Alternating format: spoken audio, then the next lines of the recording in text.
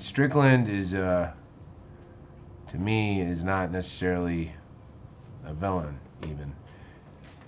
The thing that Guillermo pointed out is that in the old days, in the B movie version, where there's some creature being pulled out of the Black Lagoon or whatnot, that the Strickland character would be the, the hero, hero, I guess.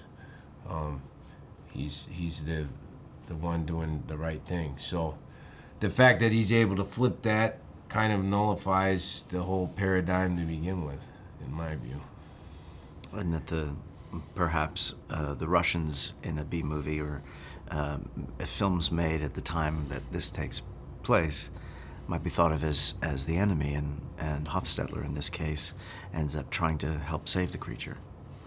So he's, he might be thought of initially as uh, one of the darker forces, and then he ends up being com compassionate and full of compassion for what the creature's going through.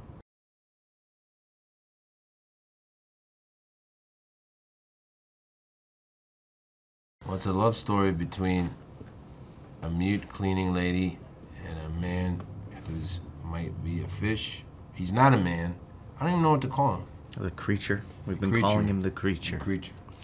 Um, yeah, these sort of lonely souls who uh, are subject to a kind of, I mean, um, horrible treatment as far as the creature is concerned.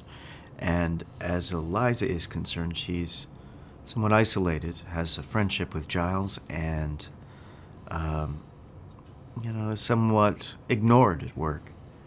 So they're somewhat solitary, and uh, they find each other her, her, her fascination draws her to this creature, and we get to watch them discover each other and the trepidation and the fear that they go through, and, and they get to know each other in front of our eyes, and that's pretty extraordinary for people who we would think wouldn't be able to communicate with each other.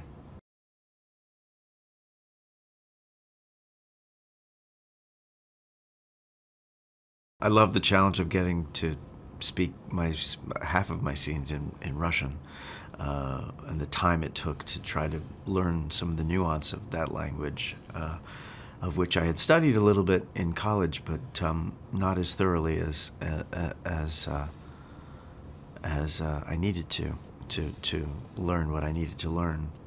Um, Guillermo also asked me to do some drawing and some sketching, which is something I love to do and have done since I was a kid, uh, of the creature so the sketchbook that he handed to me, I got to make those drawings myself, and it really brought me back to, you know, uh, sort of a, you know, both an artistic and a scientific frame of mind, which was wonderful. Uh,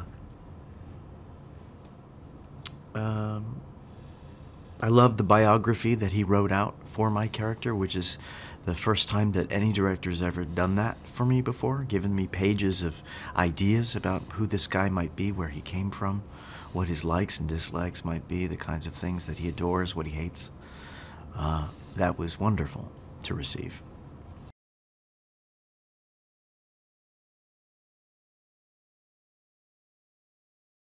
I think people will fall in love with it. I think it's uh, it's got so much going for it. Um, in terms of its variety and style and creativity and artistry.